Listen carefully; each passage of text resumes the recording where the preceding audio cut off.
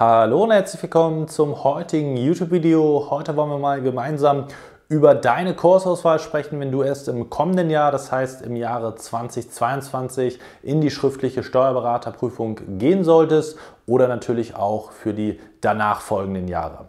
Wir befinden uns jetzt circa 17 Monate vor der Prüfung im Jahre 2022. Das heißt, es hat so eine Art heiße Phase gerade begonnen. Viele beschäftigen sich intensiv damit, wie sie ihre Vorbereitung gestalten sollen, dadurch, dass die Vorbereitung häufig sehr, sehr langfristig angedacht ist, das heißt 12 bis 15 Monate bei den meisten, ist es eben jetzt im Sommer des Jahres davor der Fall, dass man wirklich intensiv sich fragt, welche Kurse gibt es eigentlich und welche Kurse sollte ich konkret buchen.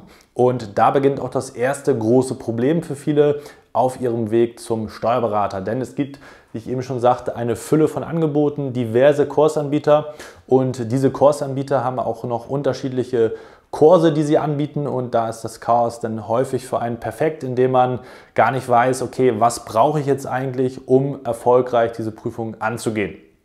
Viele greifen da auf den Arbeitskollegen, die Arbeitskollegin zurück und ja, befragen die einfach, wie machst du das gerade oder wie hast du das, wenn du schon erfolgreich das Ganze bestanden hast oder probiert hast zumindest, deine Vorbereitung gestaltet und dann bucht man häufig, weil man selber ja das gar nicht einschätzen kann, genau den gleichen Kurs wie die Arbeitskollegin, wie der Arbeitskollege. Wer sich aber intensiv selbstständig damit auseinandersetzt, der gerät in diesem, an diesem Punkt häufig schon in eine richtige Überforderungssituation, weil man einfach nicht weiß, was man braucht. Und was sind die Ursachen jetzt konkret dafür? Herrscht so eine Art Unwissenheit natürlich hinsichtlich der konkreten Planung und der konkreten Anforderungen, insbesondere auch in der Prüfung. Ich habe hier zwei Punkte schon mal aufgeschrieben. Viele fragen sich, was brauche ich eigentlich, um erfolgreich zu sein in der Steuerberaterprüfung? Das bezieht sich dann natürlich stark auf die Kurse. Welchen Kurs muss ich buchen, um das gewünschte oder angestrebte Niveau zu erreichen?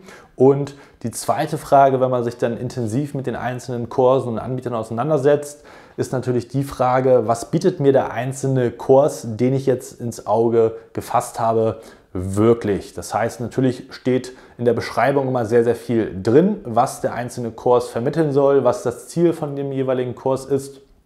Man weiß aber nicht, was tatsächlich dann auch geliefert wird.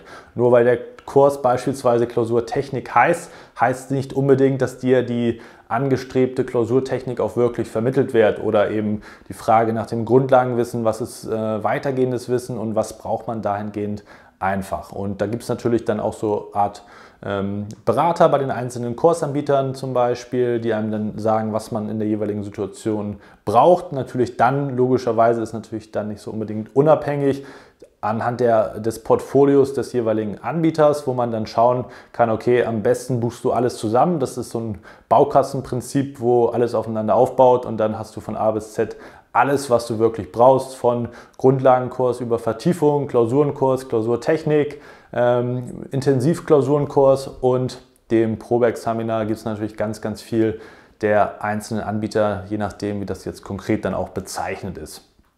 Und diese Überforderung äh, in dem Moment führt dazu, dass man natürlich einerseits darauf zum Beispiel vertraut oder diesen Grundsatz hat, okay, wenn es diese einzelnen Kurse gibt, dann machen die natürlich auch Sinn, sonst würden die ja nicht im Einzelnen auch so angeboten werden. Und wenn ich dann im späteren Verlauf häufig mit äh, Examenskandidaten spreche und wir dann auch so ein bisschen die bisherige Kursauswahl reflektieren, dann kommt häufig der Satz zustande, hätte ich das konkrete oder die konkrete Information vorher gehabt oder hätte ich das im Vorwege gewusst, hätte ich alles anders gemacht und das ist eben häufig das Problem, dass man an einem Punkt jetzt gerade steht, wo man eben noch nicht so viel weiß über die Prüfung und auch nicht, was in den einzelnen Kursen gut läuft und was in den einzelnen Kursen vielleicht nicht so gut läuft. Und das ist die wahre Problematik dahinter, die Ursache, die nicht nur in dem Moment zu der Überforderung führt, sondern eben auch viele Probleme im weiteren Verlauf mit sich bringt, die man äh, ja, bei einer anders, andersartigen Vorbereitung vielleicht dadurch schon vermieden hätte. Was ist jetzt sozusagen die konkrete Ansatzmöglichkeit, dieses Problem zu umgehen? Ich habe mir mal drei Punkte aufgeschrieben, ähm, die wir beachten sollten. Bitte buch nicht anderthalb Jahre vorher alles auf einmal. Das ist natürlich teilweise auch monetär verlockend, weil viele Anbieter da auch mit einer Art Rabatt werben. Wenn du jetzt das und das und das frühzeitig buchst, Einerseits hast du es dann garantiert, dass du daran teilnehmen kannst. Andererseits bekommst du vielleicht noch einen Frühbucherrabatt oder einen Mengenrabatt, wenn du alles auf einmal buchst, alles aus einer Hand. Und dieser Rabattgedanke führt häufig dazu, dass man 15, 17, 18 Monate vorher sagt, okay, ich buche das jetzt alles zusammen, weil ich spare dann noch Geld und ich brauche das ja alles dann ist aber die gesamte Vorbereitung wirklich schon von A bis Z durchgeplant und du hast tatsächlich noch gar keine Erfahrung gemacht, ähm, gerade auch nach dem ersten Kurs, passt das Konzept von dem jeweiligen Anbieter überhaupt zu dir? Gefällt dir der Anbieter überhaupt von der Art und Weise, wie er das aufbaut? Und vor allem kannst du noch gar nicht abschätzen, wo deine eigentlichen Probleme, deine individuellen Probleme im Laufe der Zeit auftreten. Das heißt, vielleicht hast du gar kein Problem mit einer Klausurtechnik äh, in deinem weiteren Verlauf, weil dir das zum Beispiel sehr, sehr gut liegt. Dir fehlt aber zum Beispiel Wissen in dem anderen Bereich, wo du vielleicht viel, viel intensiver dran arbeiten solltest oder umgekehrt. Ne? Das sind so viele Aspekte, wo man einfach noch gar nicht weiß, 15, 18 Monate vorher, was da konkret auf dich zukommt. Und dementsprechend würde ich das sukzessive angehen und nicht alles auf einmal buchen. Was ist da für ein Glaubenssatz hinter? Der folgende, und zwar, man bucht jetzt einfach mal das gesamte Portfolio oder einen Großteil von dem jeweiligen Portfolio, weil man denkt, wenn ich diese ganzen Kurse habe und dann natürlich auch bearbeite, dann werde ich auch erfolgreich sein, weil dieser Kurs oder das ganze Konzept soll mich ja intensiv auf diese Prüfung vorbereiten. Und das ist, wie gesagt, für mich ein falscher Glaubenssatz dahingehend, dass man denkt, dass der Kurs oder die Kurse im Plural dann besser gesagt dich erfolgreich machen in der Prüfung.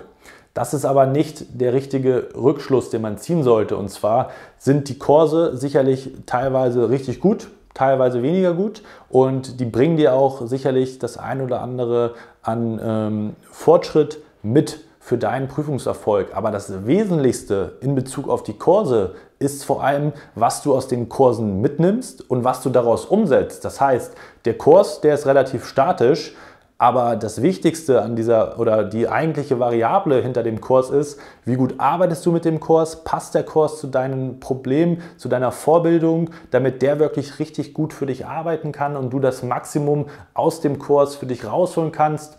Und da bist du eben die Variable und vor allem deine Fähigkeit umzusetzen, was der Kurs konkret von dir verlangt. Und da sind wir auch schon bei dem nächsten Punkt, denn Du musst wissen, was sind die eigentlichen Anforderungen und auch Voraussetzungen, die du mitbringen musst für den jeweiligen Kurs damit der Kurs eben maximal effektiv für dich arbeiten kann. Es gibt Kurse, die setzen wirklich bei der Wurzel an, wo man wirklich nach Grundlagen, rund, äh, nach den Grundlagenmodulen vorgeht und wirklich alles sukzessive erlernt. Andere Kurse haben tatsächlich ein höheres Einstiegsniveau, andere Sachen muss man sich vielleicht anders aneignen. Und da ist auch die Frage, welche Vorbildung bringst du mit? Welche Erfahrung mit steuerlichen Klausuren beispielsweise? Wie sieht deine konkrete Arbeitsbelastung in den kommenden 15 Monaten, 17 Monaten dann aus? Und was kannst du sozusagen mit dem Kurs zusammen erarbeiten, damit du diese Fortschritte auch machst?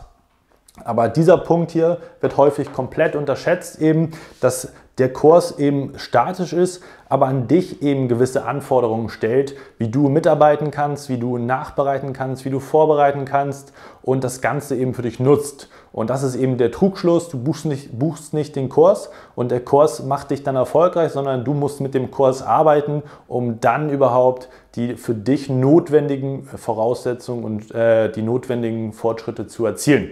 Und das ist eben eine andere Perspektive, die aber eben ganz, ganz entscheidend ist für deinen Erfolg, dass du mit dem Kurs dann auch erfolgreich sein wirst in der Steuerberaterprüfung. Und nur darum geht es letztendlich ja. Wenn du dazu Fragen hast, schreib uns gerne was in die Kommentare. Wenn du intensivere Unterstützung brauchst bei deiner Kursauswahl, anhand deiner individuellen Situation, dann darfst du dich natürlich auch sehr, sehr gerne bei uns melden und dann schauen wir, ob wir dir diesbezüglich weiterhelfen können. Ansonsten freue ich mich, dass du bis zum Ende mit dabei gewesen bist. Wir sehen uns im nächsten Video. Bis dahin, dein Malo.